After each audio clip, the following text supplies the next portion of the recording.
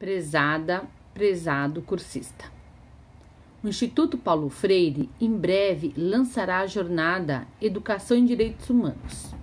Nesta jornada, nós refletiremos quatro grandes temas da educação em direitos humanos. Na primeira videoaula, trataremos da história e dos fundamentos da educação em direitos humanos. Na segunda, o Plano Nacional de Educação em Direitos Humanos.